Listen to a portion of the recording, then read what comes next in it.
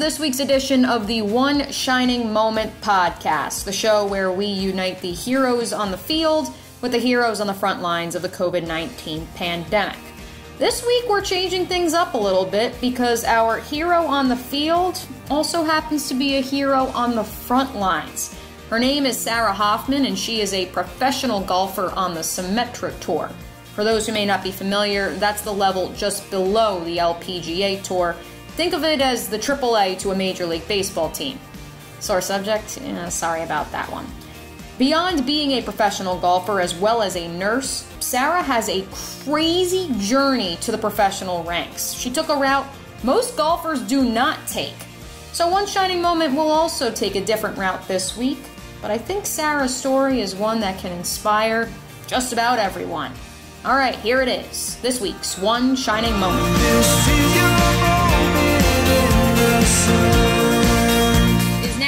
Honor to be joined by pro golfer Sarah Hoffman. Sarah, thanks so much for joining One Shining Moment. Yeah, thanks for having me on. I appreciate it. So, you know, usually, as I explained to you, we have two guests here on the podcast. We have a hero on the front line and a hero on the field. You happen to be one of both. Uh, so, thank you for all you've done, both for the game of golf and also for all those in need during this tough time. Yeah, of course. So let's start a little bit further back, though, before we jump into your role here during these last few weeks of the pandemic and months at this point. Um, correct me if I'm wrong. You did not take the usual route of I'm going to graduate college, be a pro golfer, and that's what's going to happen. So you graduate from college. What are your goals when you, you know, get your diploma in August 2013? Okay, so I had to back up just a little bit. So in August of 2012, that was when, or I guess May, that would have been when my season ended for my senior year.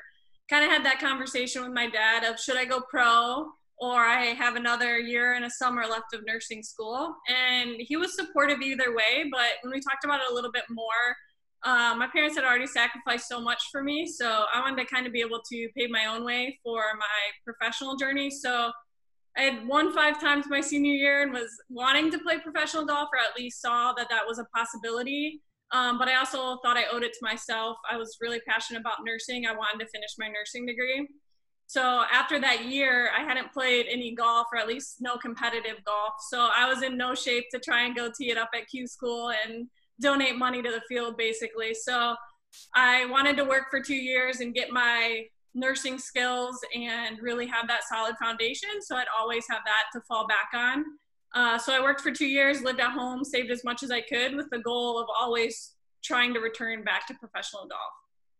So when you're a young kid, we'll even take it a step back further. You know, when you're 12 years old, are you saying you want to be a pro golfer or were you saying you wanted to grow, grow up and become a nurse? Um, I was going to be a professional soccer player at 12, oh. I think. And then it changed to basketball. And then, yeah, so I didn't play any AJGA tournaments. Um, I didn't actually play competitive, besides my country club, like junior golf. I didn't play any competitive tournaments until senior year, after senior year, going into freshman year of college. Um, and nursing was something that was always on my radar, but not, I didn't decide nursing until my sophomore year of college. What was it about nursing that really spoke to you as a p- potential profession? Um, I had known a couple nurses and like heard what they got to do on a daily basis, and I just like uh, being able to support somebody when they're going through a tough time, but also having that like science background and that um, knowledge that you can use like different interventions to really help somebody. And just i've heard those stories of patients who you know they have that one nurse that really made a difference and i wanted to see if i could be that for somebody else. So two years out of school you know you're you're knee deep waist deep in the nursing profession. Were you having moments though where you said hmm should i be doing something else right now? Yeah, for sure. I mean, I think you always look or you always like kind of you know throw your net out in the future and you're like if I, if I look back am i going to regret what i'm doing and i was really happy in nursing and i enjoyed it but i was also playing like the michigan open and playing other summer tournaments and i think in, it was in I would have quit in 2000. So it was in 2000. So the summer of 2015, I shot a 66 at the Michigan Open, and I was finally like, okay, my game is coming back. I'm at a point where I have enough money now. I know I can always fall back on nursing, and I have to go and give it a run. I can't. I can't not. Um, I didn't want to look back and have regret of not trying. And at that point, you know, not only are you a nurse in Michigan, you're from Michigan, you went to Michigan. So, as far as your golf career goes, do you know at that point you have to leave Michigan? You have to uproot your life a little bit? Yeah, so I gone to Grand Valley State. Um, but yes, I knew that I, I quit in February of 2016, or I went temporary status in 2016. It's February, it's Michigan. There's, you know, still snow on the ground. So luckily I have a great aunt that lives in Windermere, Florida. Um, and she had three extra rooms. So she was living alone. She's, you know, in her upper 80s. So she was feeling lonely too. So it kind of, it just worked out for the best. What was the conversation like with your fellow nurses, your bosses at the hospital when you say, Yep, uh, I'm moving to Florida and I'm going to become a golfer?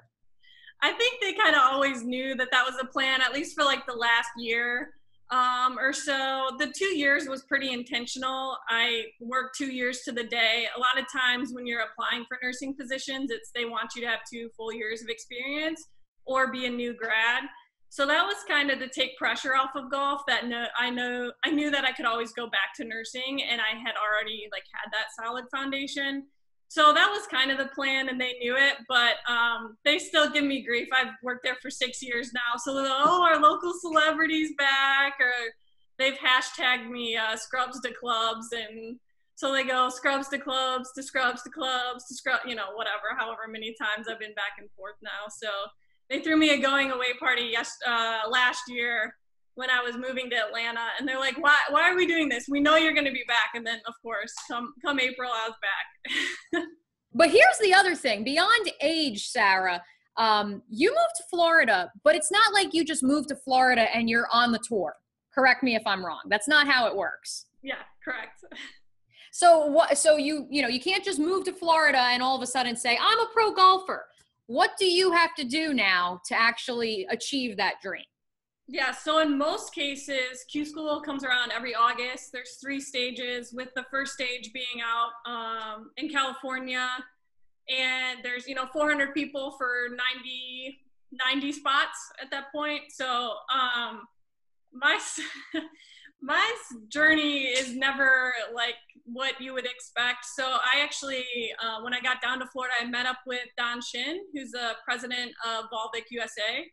And he had come to do a press conference at my home course, Travis Pointe in Ann Arbor, because the Volvik, the LPGA Volvik Championship was coming to Ann Arbor for the first time in May of that year. So in three months when I met him in February.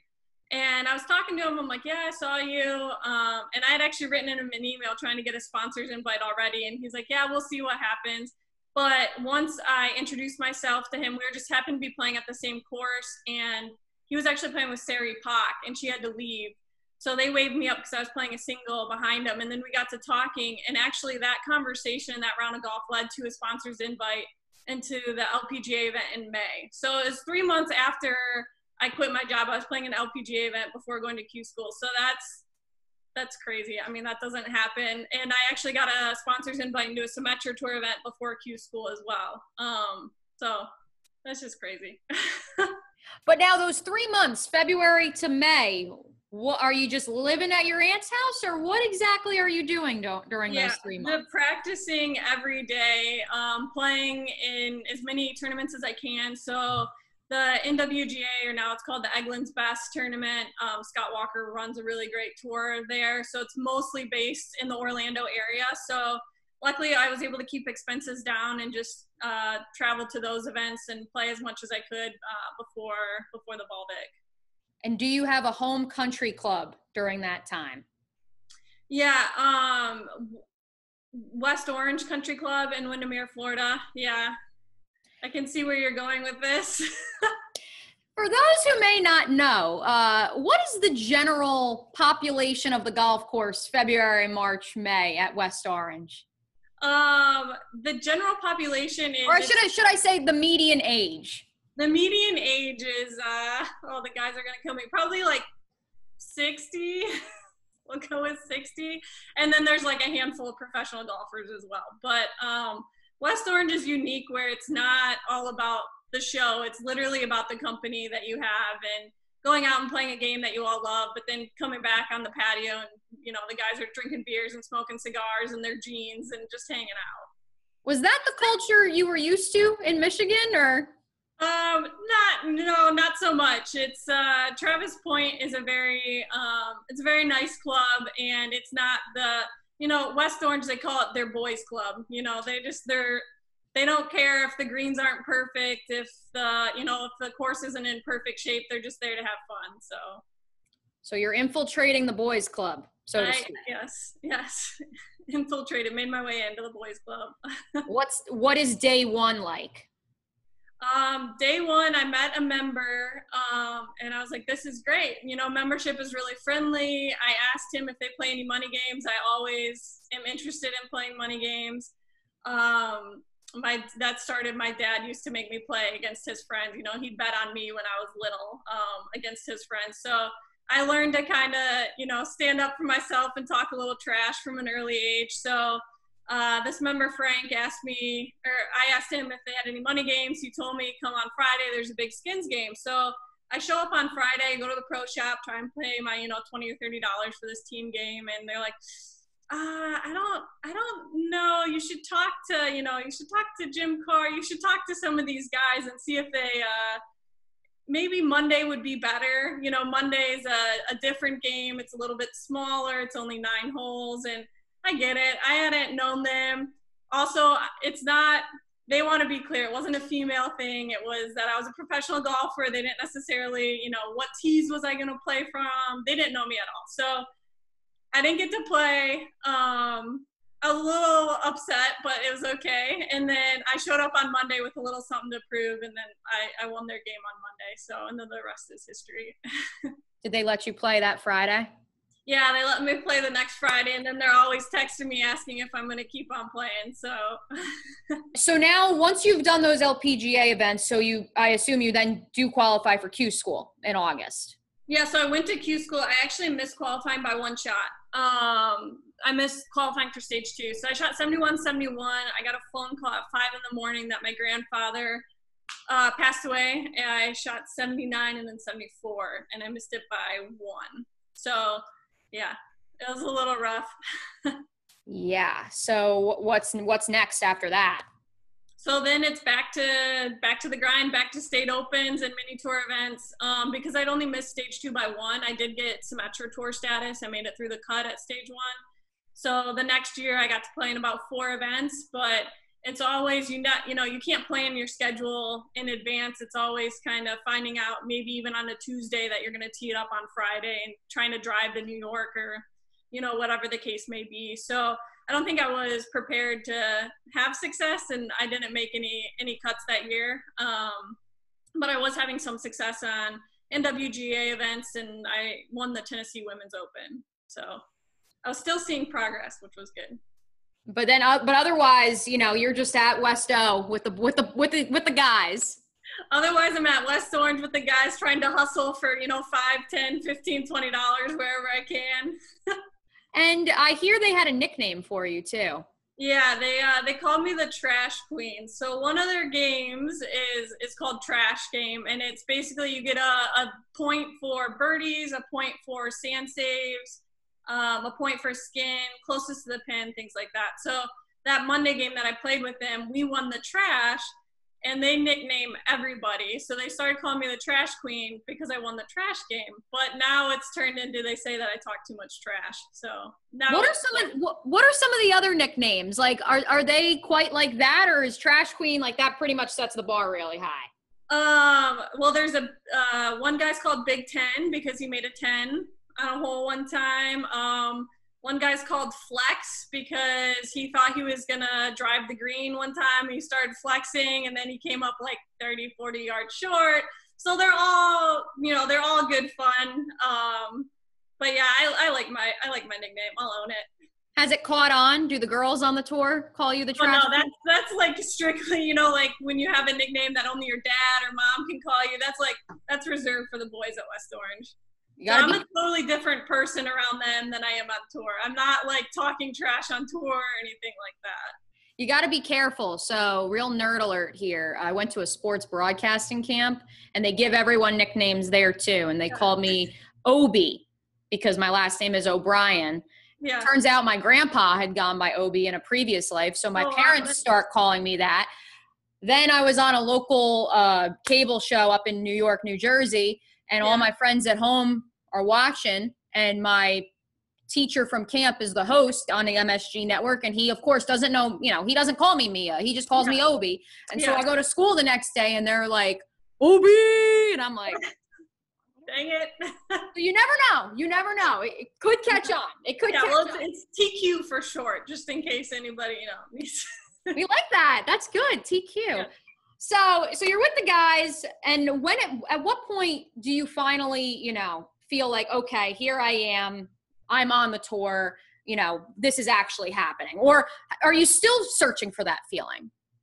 Um, still searching. So 2016 would have gone to Q school. I've had some rough luck at Q school. Um, I've played well and felt like I was ready to play really well at Q school. And then 2017, so I won two events leading into Q school. Um, and then I just I shot 69 the first day. I was playing really well, like you know, top 20 at that point. And then the next day I get to the range, I feel like I'm gonna be sick and like super nauseous um, and the feeling just never goes away up until like two more weeks later. I'm at uh, the Colorado Open and I end up going to the ER. I had a stomach ulcer. So um, I, if that had been any other day besides Q school, I would not have continued to play. It was, I was sick um, and super, super painful. So I didn't make the cut that, that year. Um, and so then I was like, okay, another year of state opens and mini tour, mini tour life, which is a struggle, but luckily, you know, we have it better than women have had it before us. So it's it's doable on many tours, especially working uh, as a nurse in the off season. So I just kind of did. I knew that I kept on improving, and as long as I kept on seeing improvement, I wanted to keep going back. So in uh, so that was 2018. I went out to Q school and uh, tied for 16th at uh, stage one. So I made it to stage two. Um, and then I was actually tied for the lead after uh, after the first day of stage two. And then I had a rib pop out. So I missed I missed Q series. I missed Q series by one shot that year. Um, so I don't know what it is about Q school. I'm I think you know, this year Q school's canceled. Maybe that's for the best for me. I don't, I don't know. So, unfortunately, you know, you lose your grandfather, stomach ulcer, and then a rib popped out. Yeah. And last year I had to withdraw. So, what keeps you going? Why do you what why do you keep saying that th- this is a possibility for you to make it as a professional golfer? I think um, there's a couple things. I'm super competitive. I don't care if we're playing golf for a dollar, like I want to win. I don't care if I'm playing dominoes with my grandma, like I want to win. Um, so just that like internal competitive drive that I just want to be the best that I can be. Um, so that's one. Two, I keep seeing improvement. I keep, you know, last year I made 10 out of 20 cuts when I hadn't made a cut before. So I see that. And then the other thing is just playing on the LPGA and just having those like first tee jitters and playing against the best women in the world. And I see what they're doing. And, you know, I, my good shots are as good as their good shots. It's just, you know, kind of managing the mistakes. And, you know, as long as I keep on seeing improvement, I, I want to keep on doing it because I don't want to regret, you know, quitting too early.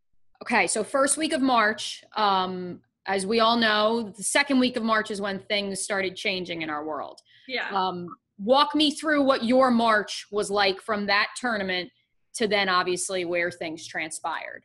Yeah, so early March, we had um, actually the LPGA commissioner, Mike Whan, and the Symetra Tour commissioner, Mike Nichols. We had a uh, mandatory player meeting at that first event and was basically like, you know, there's going to be some hand sanitizer on the tee. We don't want you shaking hands. Kind of keep keep a little bit of distance. Um, but at that point, it was mostly just in Washington. And so it was like kind of felt a little surreal. Like, is it really here? Like, I don't know, but like we're gonna take precautions. Um, and then our schedule was set that we had a two week break already after our first event, and then we were gonna have two weeks in California. So kind of made it seem like maybe California will be canceled, but we're not sure.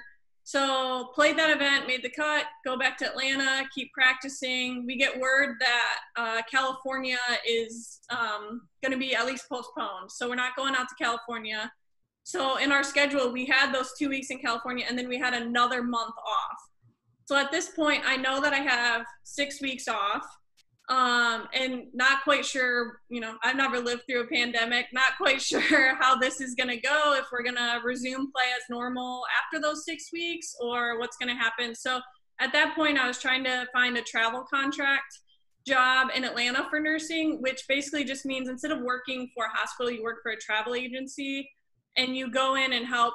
Usually they want like a 13 week contract, which is why I was having a little bit of a difficulty trying to find one because I just wanted to work six weeks. If we already had a shortened season, I didn't want to have to be taking off events um, to be working. So trying to find like a four to six week contract. That didn't happen. So I was in Atlanta just social distancing on my couch, you know, trying to read some books, doing some puzzles, um, waiting to hear word on contract. Didn't get it. Once we got another postponement that, you know, we're not coming back um, when those six weeks are over, that's when I uh, called my manager at U of M and asked uh, if I could come back to work. You are part of the orthopedic trauma unit.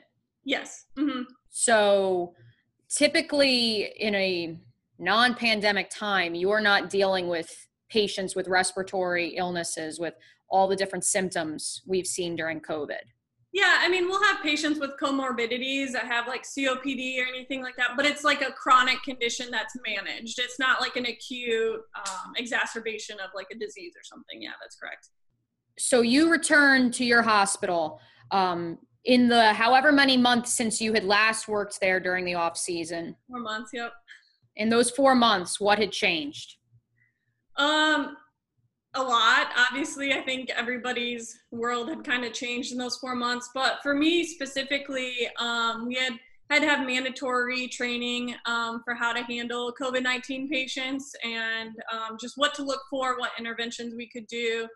When I got to the hospital, um, I couldn't go into my normal entrance. I had to find a different entrance to go into. We had a checkpoint um, where you're just asked if you have a fever, uh, cold cough or flu like symptoms, you get a mask that you have to wear for the next 13 hours of your day. Um, and then, as far as my unit specifically, at that point, we didn't have any um, COVID positive patients on my unit. Um, the University of Michigan had developed a specific ICU for COVID patients, and we had all the other ICUs um, mostly had those patients.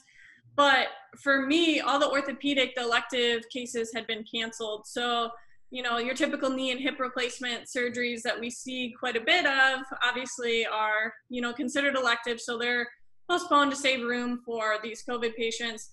And um, so we have all, we were kind of like a clean surgical unit. So we had um, all sorts of emergency surgery. So because of the nature of an emergency surgery, it's somebody's a little bit they require a higher level of care. So it was different in the fact that like it was very it was a little bit more fast paced, something taking care of patients that you know I'm not used to seeing, um, surgeries that I'm not used to seeing. So it was definitely a fast paced learning learning environment for sure. But it ne- you never dealt with COVID specific patients. No, no. Um, rule out patients, so like PUIs, like patient, people under investigation, but um, if they were deemed to be COVID positive, they had to get to the ICU or at least closer to the ICU um, because they, they really go downhill very quickly. What do you say to those patients that you know it's it's a different kind of struggle that maybe isn't getting as much publicity right now?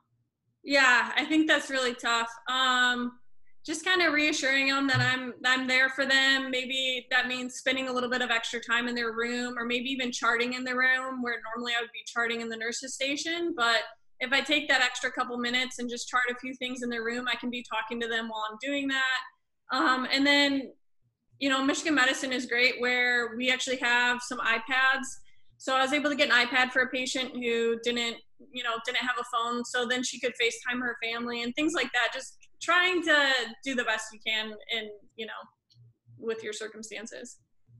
How would you describe these last two months for you emotionally in the role that you are in?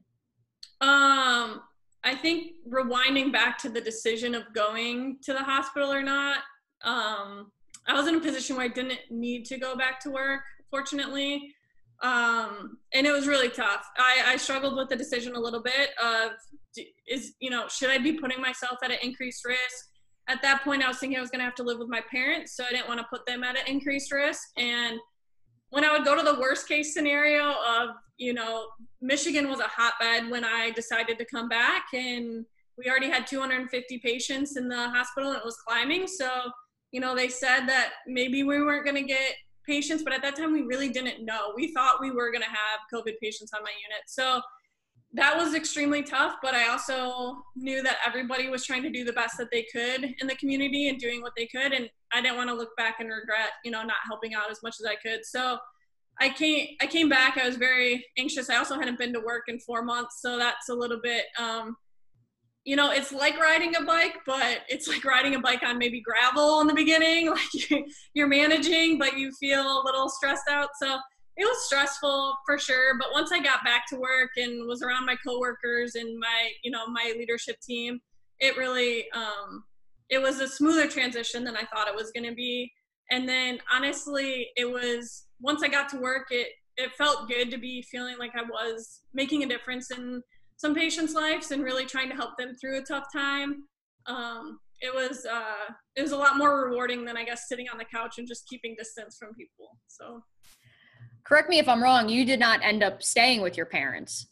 I didn't. No. So I um, my parent my parents are in their 60s, so just didn't want to put them at an increased risk. But my coworker luckily had a couple extra rooms, so um, I ended up staying with a coworker. What was that like for your parents, knowing that you're there, but you, you can't really see them? Yeah, so I um, had seen them, you know, from a distance and just kind of said hi, but it was it was it's weird. It's kind of one thing, hi, you know, like uh, waving at your friends or whatever from a distance, but like seeing your parents and not having seen them in, you know, four or five months, you want to give them a hug. But um, yeah, it's a it, it was a little bit weird. Luckily, golf courses have opened up, um, so I've been able to play Travis Pointe. I've been able to see them. Um, but yeah, just not being able to hug your mom and dad is uh, is very strange, as I'm sure everybody knows right now. So, especially when, like you said, you only get to be back in Michigan, how how often? Yeah, exactly. So you are playing Travis Pointe a little bit. Um, yeah. Are you? Do you have like a training regimen, or is it kind of just because you're probably wiped? I mean, you're working 13 hour shifts. Yeah, so working three twelves a week, and I was actually I was picking up a little bit overtime at first too. Um, yeah, the training regimen kind of went out the window a little bit. I was still playing. Uh, my coach Will Ellender is at Fox Hills, so in Plymouth, Michigan, so or not too far away. Um, so I've been working with him a bit and just trying to play as much as I can. The ranges were closed, everything like practice facilities were closed. So basically, I thought it was an advantage just to be touching my clubs. A lot of girls, their golf clubs were still closed. So it's kind of like uh, we're treating it as a second off season and as i am turning 30 i don't want to be pushing it too hard before season starts because there were talks that we were going to have a bunch of events right in a row unfortunately i don't think that's going to happen um, but so i was just trying to like you know have that balance of resting a little bit and just like having fun going out and playing with my parents so that that will all change here coming in june i'll start ramping up the practice a lot more so when you look at the, these last few months, as much as you know, maybe your training hasn't been what you wanted it to. How do you think this experience maybe has helped you as a professional athlete?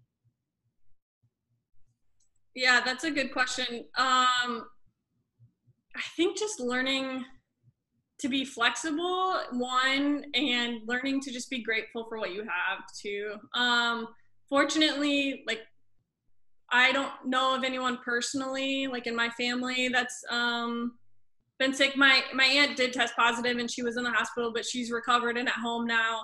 Um, but yeah, I just think like waking up every morning and being grateful for what you have, and just trying to make the most, uh, make the most of, of what you have. Like you mentioned, Sarah, June is when the training ramps up. What are you hearing as far as a return to play for Symetra Tour? And obviously, we know the PGA Tour will be returning in June. What are you hearing mm-hmm. about you guys? So we're gonna start July. I think I believe it's 24th, the last week of July in Battle Creek, Michigan. Um, we'll have two events, Battle Creek and then South Bend, and then we'll have a couple weeks off. And then we're kind of clustering in two or three, two or three week events. So we'll have like two events, two weeks off, two or three events, two weeks off. Um, and we have nine total events scheduled uh, for this year. So it all depends. Obviously, um, the both commissioners are taking in advice from local health experts and the governments, and we'll see how restrictions are lifted and how that affects everything. But um, luckily, that's above my pay grade. So I'll just be ready to play when they tell me it's time. Are you feeling good about golf's return? Are we? Are you feeling socially distant? You feel like golf's going to be okay? Um, I think golf in like the recreational sense right now is great. Like I've, you know, played multiple rounds with my parents. I haven't come within six feet. I think it's, you know, a great sport, especially if everyone has their own cart or if you're walking that super easy. They took the rakes out and, you know, they have special cups now. And so I feel great about that a, as a recreational uh, sport. It's going to be interesting. And I know the commissioners are working hard on trying to figure out how that's going to work on a professional level. Um, especially like on the putting green in the morning when you know you have 50 girls for practice rounds. So you we've had a line of like 50 girls waiting on the first tee. So i know they're implementing different changes. Um we'll just see. I don't know. It, it's going to be interesting. Or do you feel like your nurse cap will somewhat be on? Or are you feeling like are, are you going to be thinking about nursing while you're on the course? Or is it just going to be locked in I think I'll, I mean, nursing doesn't ever really go away. So, you know, I might see someone coughing without covering their mouth or like not using hand sanitizer or something. And like in the back of my head, I'll be like, mm. but uh, I think when I'm golfing, I'm hoping to be able to just kind of focus in on golf. Well, Sarah Hoffman, you are the epitome of one shining moment, a hero off the field and a hero on it as well. Thank you so much for all you have done for the community in Michigan and the golf community as well. Thanks, Obi.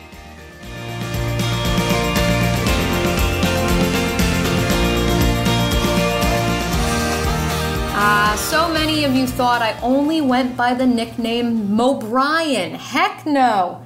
Shout out Mike Quick as always at the Bruce Beck and Iron Eagle Sportscasting Camp. And shout out and thanks again to Sarah for joining me today for this long form version of the One Shining Moment podcast. If you'd like to learn more about Sarah, you can visit her at Sarah underscore Hoffman underscore golf on Instagram. If you'd like to learn more about the Symetra Tour and the road that Sarah took, you can visit at Road to LPGA on Twitter, and they are, of course, just right down the road from us here in Jacksonville in Daytona Beach. And I probably should say thank you to the boys at the West Oak Club. I am probably going to have to pay a visit there at some point to thank them for allowing us to talk about them at length on this podcast. If you know of a hero on the front lines or a hero on the field who would be a great addition to the One Shining Moment podcast, be sure to let me know. You can email me at mobryan1 at firstcoastnews.com. There's that Mo Bryan.